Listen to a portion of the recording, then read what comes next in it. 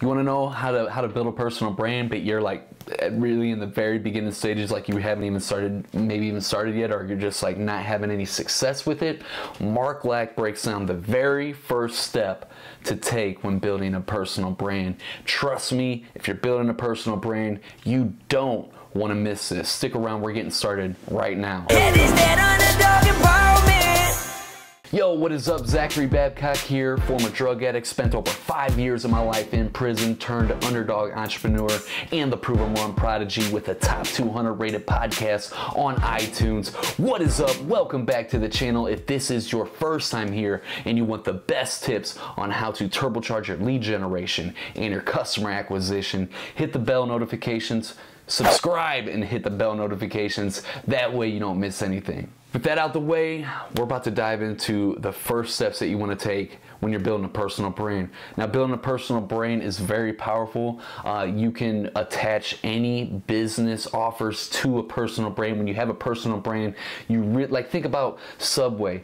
Um, until they had a personality and attractive character type, as in Jared, they're you know they're just an average company. When Jared came around, their sales went through the roof. And then when he made those poor, stupid, dumb decisions that he made, uh, and, and no longer was the face of that franchise of that company of that uh, uh, uh, of that company as a whole, their sales plummeted. And that's the power of a personal brand of building an attractive character. So let's talk about the very first steps that you can take. And did that make sense? If so, let me know in the comments below if what I just made made sense. Because sometimes I get on a rant, and if it didn't, let me know so I know to shut up in the future. With that being said, let's dive straight into the content on the first step you need to take when building a personal brand. Let's talk about for for the ones tuning in right now, all the underdog entrepreneurs, people that are looking to get into entrepreneurship or just starting out what is like some of the what's the first thing you'll tell you you could tell somebody just starting out to build their personal brand? Like what's the key thing to kind of get that that plane off the ground? So the first thing if you're going to build out your personal brand i love that question because a lot of people are just starting. Um, the one thing i'll help people recognize the awareness of is we all have a personal brand. The personal brand really is just what happens when somebody perceives you. What happens when somebody has a first impression of you? What happens when i say hey i'm going to connect you with zachary and then somebody goes cool, I got that email introduction, but before I respond, I'm gonna go and look you up. I'm gonna go on social media. I'm gonna go on the internet. I'm gonna go on your website, and I'm gonna judge you. I'm gonna perceive you in a certain way and determine is this somebody that I should connect with? Is this somebody that I can get value from? Is this somebody that I can get anything from? Like, is there a reason for me to even talk to you besides the fact that somebody connected me with you?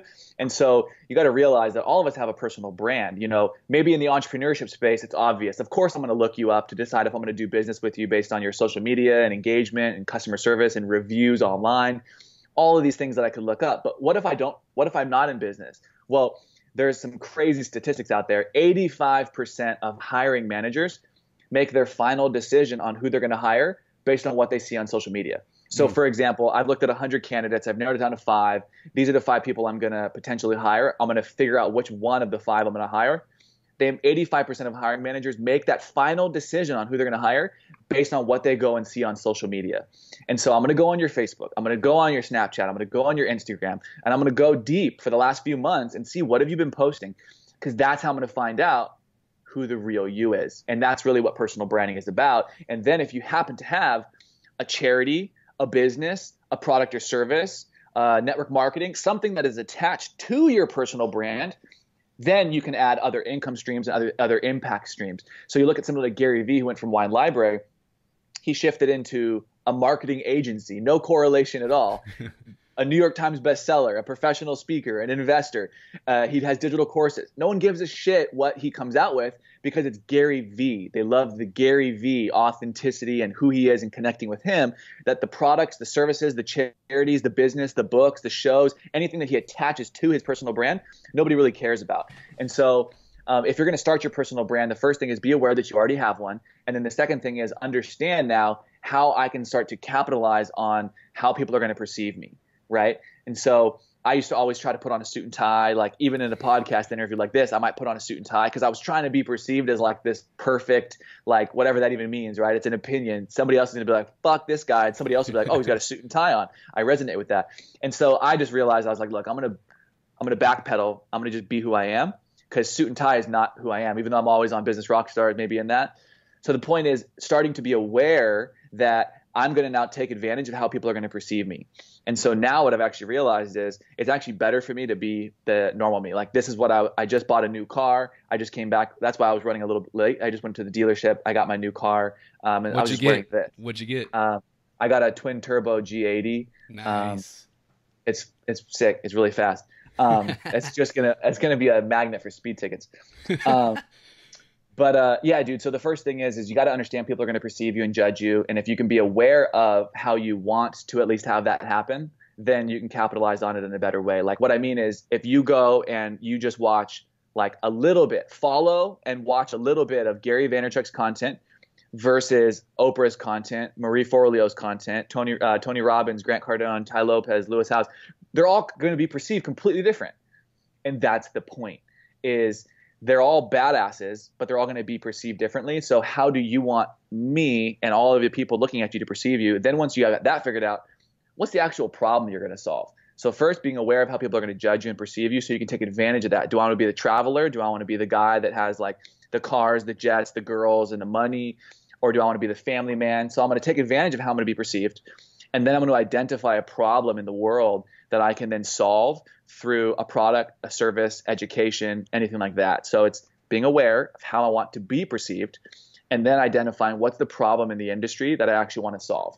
And so if you start solving a problem for people, then you can actually add value. And then through adding that value, you start to build more of a following. Because the last thing we need is another fucking fitness influencer posting pictures of them. Like we don't that doesn't that doesn't do anything. But if you can go out there and you can provide education, if you can provide you know products and services that change people's lives, that's I think the real missing key in a lot of personal brands is there's a lot of people that have million a million followers, but their bank account doesn't match their followers. They have a million followers, but they only you know make a hundred grand a year.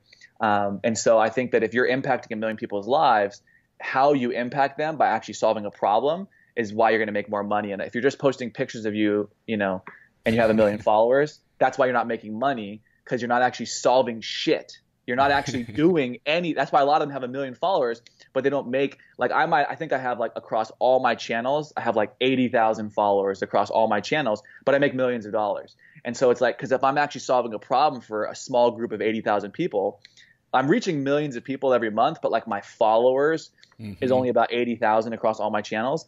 Uh, but the point is, I can make millions of dollars because I'm actually impacting and changing people's lives.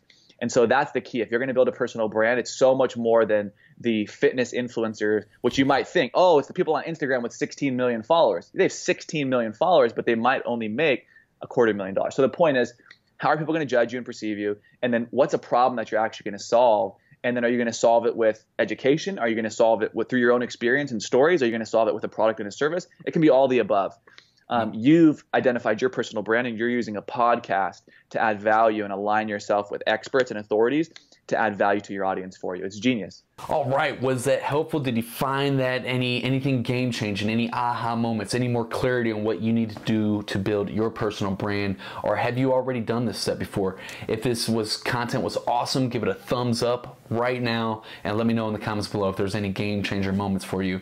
Uh, if it sucked, if you already knew this, uh, if you uh, just didn't find it helpful at all and thought it was just crappy content and that doesn't belong on YouTube, hit it with a thumbs down and let me know in the comments down below. Don't be afraid to hurt my feelings because you're not going to. I really do appreciate your honest and sincere feedback because I want to be a good YouTuber and make good YouTube videos that you will watch and gain value from. So your feedback is greatly appreciated.